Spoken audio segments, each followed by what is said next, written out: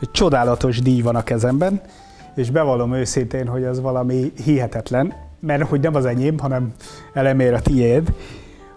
Egy világbajnokságon harmadik helyezést értél el, és én azt gondolom, hogy aki mondjuk Spartán részes, tehát effektíve spártai versenyes, az Spártában világbajnokságon harmadik helyezést érjen el, az egy szerintem egy álomszerű történet. Ugye ez a 55-59 éves korosztályról van szó. Igen.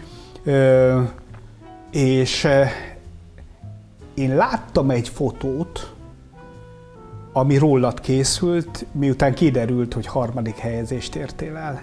És én azt láttam, hogy még te se nagyon akarod elhinni, hogy ez összejött. Jól láttam? Igen.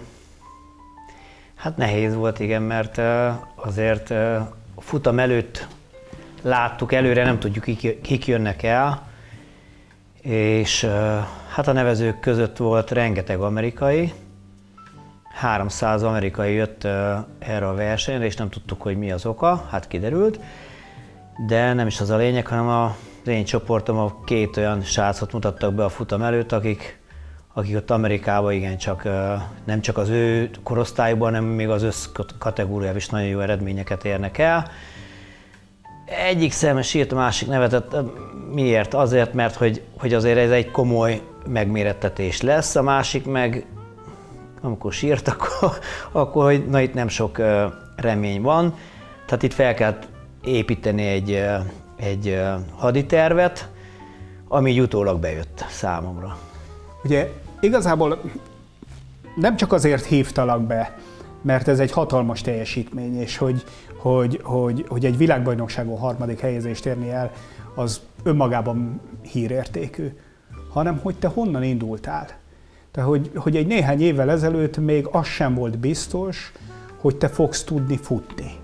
Nem volt az biztos, ugye volt egy szerencsétlen baleseted, egy targoncás baleseted, ami után én azt gondolom, hogy te magad, lehet, hogy velül elhitted, de az orvosok nem hiszem, hogy bíztattak azzal, hogy maga még élsportot tud űzni.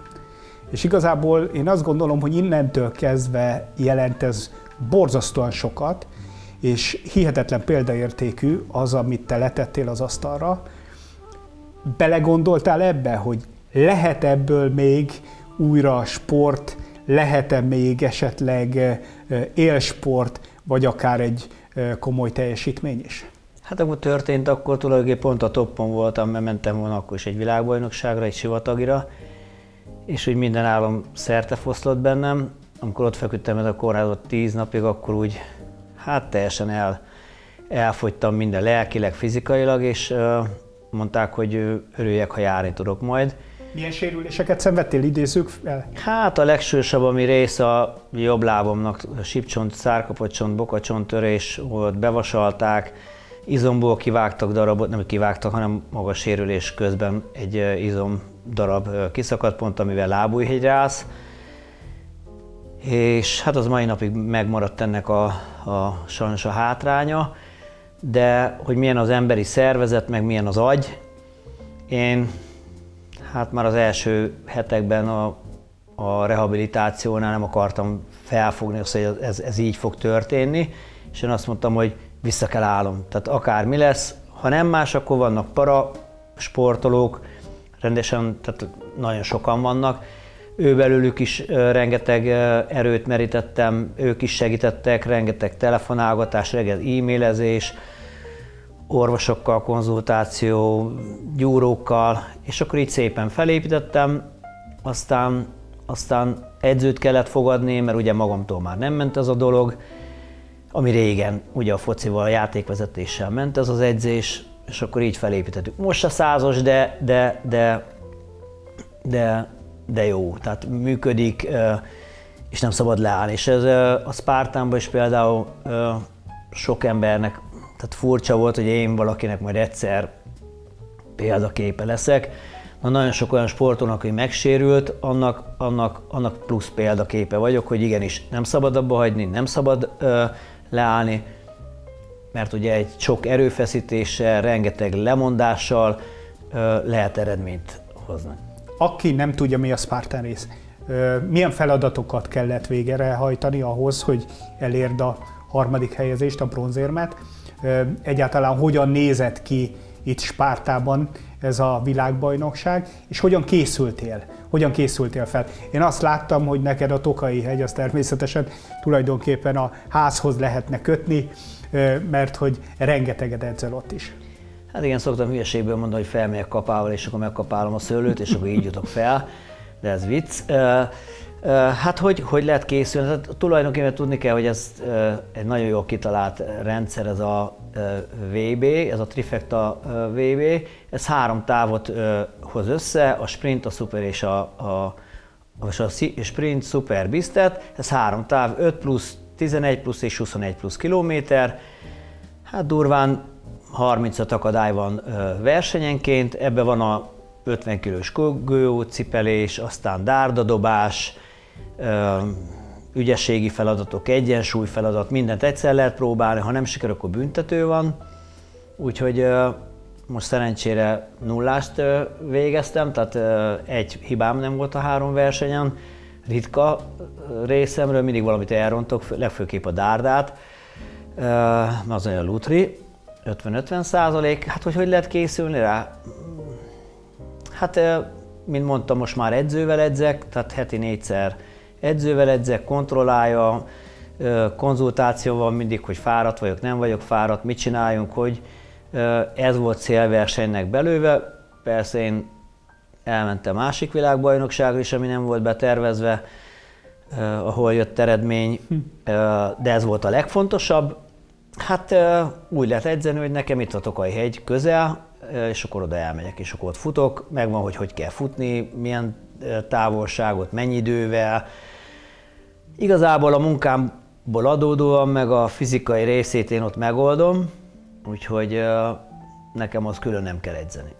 Milyen terep fogadott? Voltál-e már ezen a környéken? Egyáltalán mennyire volt meglepetés számodra, hogy, hogy, hogy milyen terepviszonyok között kell majd teljesíteni a távot? Távokat. Érdekes, nagyon jó a kérdés. A standard, tudtuk, hogy a standard, tudtuk, hogy már ott voltunk háromszor, negyedjére mi változna, semmi nem fog változni. Tudtuk, hogy nagyjából, amiből néhány sportolónak nem is tetszik, hogy ugyanaz a pálya, néha megfordítják az irányt, és hát ilyen cipőválasztásba, hát mondom azért viszek három cipőt magammal, mert ugye ott tudni kell, hogy ilyen agyagos, ilyen löszös, kavicsos a talaj, és tudtuk azt, hogy durván 3-3,5 km patakban kell futni, valamikor bokáig, valamikor térdig érő víz vár minket, és amikor kimentem, nem szoktam pályát bejárni, mert, mert nem szoktam, de mondom, elmegyek edzeni egyet, egy kicsit kocogok, és akkor azt tapasztaltam, hogy nincs víz. És akkor volt egy verseny előtti megbeszélés, az minden táv előtt van, bemutatják a pályát, az akadályokat, és mondták, hogy semmilyen jellegű víz, se víz alá merülés, se vízben futás nem lesz, meg kiszáradt a, a patak, két hónapja nem esett eső, és rögtön a cipőválasztásnál már megint egy másik cipőt kellett betenni, szerencsére volt nálam olyan, ami kellett, tehát meglepett, nagyon gyors lett a pálya. Tehát ami, ami akkor azt gondoltam, hogy nem fog jól, nem fog feküdni az én stílusomnak, de aztán taktikát változtattunk, és akkor ez így bejött. Hogy néz ki az eredményhirdetés? Most azon gondolkodtam, mert hogy tényleg kapaszkodok abba a képbe, ahogy ott állsz, és akkor még ráadásul nem is fotó készült rólad, hanem egy videó, egy kicsit mindegy, olyan voltál, mint egy megszempent kisfiú, hogy Tényleg? Én vagyok a, én vagyok a harmadik? Hát ez az eredményhirdetés úgy volt, hogy tehát három táv van ezen a versenyen, kötelező mind a három távon indulni, ahhoz, hogy a végén eredmény hirdetésén ott lesse, vagy egyáltalán értékeljék az eredményedet, de külön minden nap volt a versenyszámoknak egy eredményhirdetés, ott egy egyszerűbb érmet kaptál, te nem kaptál ilyen háromszöget, Hát ott a sprinten második lettem, ott egy olyan taktikám volt, hogy amely csövön kifér, és ez bejött. A második száma szuper volt, na itt is egy nagyon gyors pálya fogadott minket, kevés szinttel, na itt is az volt a taktik, és akkor majd a bizton a 21 kilométeren majd lesz valami. Annyi előnyt kell szereznem, hogy, hogy, hogy, hogy az beleférjen, hogy egy kicsit lazábban futok. Na hát hozzáteszem, hogy a, a, a biztos 26,8 26 km lett a vége, így utólag már tudjuk, és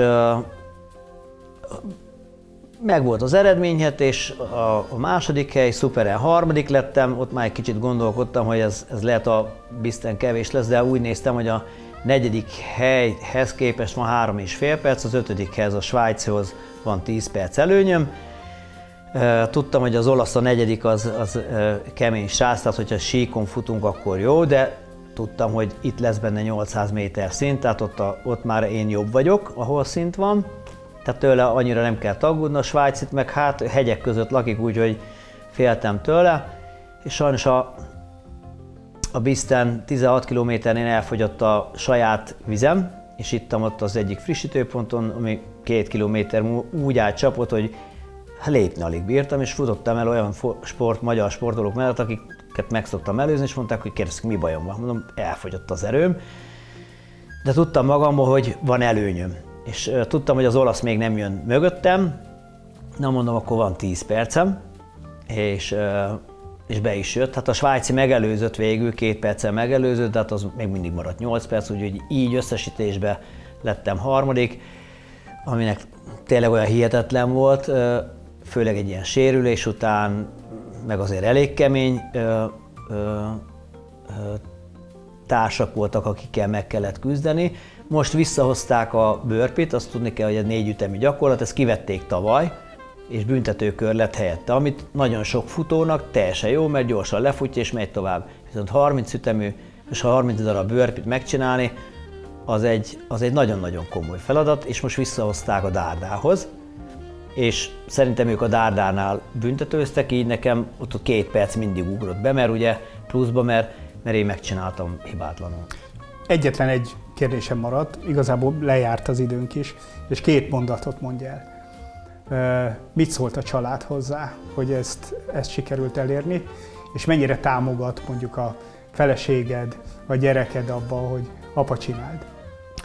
Hát a kicsi Somi az mindig azt mondja, apa elmegy versenyezni, akkor nem fogom látni őt, ő, ő, ő egy kicsit úgy hiányol. Már hiányol, de nagyon aranyos, most is rajzolt nekem, meg, meg minden nap beszéltünk telefonon. Hát a párom annyit kért, hogy a jövő évi most már megvan minden, amit szerettem volna. Minden olyan világbajnokságon, ami ebben létezik, mindegyikben első, második, harmadik hely mindig beugrott, hogy egy kicsit a jövőt, jövőt a jövő évi versenyek azért kevesebbek legyenek. Köszönöm szépen, hogy itt voltál, és én azt gondolom, hogy egy igazi példakép vagy azoknak, akik sportolni szeretnének, vagy éppenséggel valami balesetük volt, és abból szeretne, szeretnének felépülni. Köszönöm.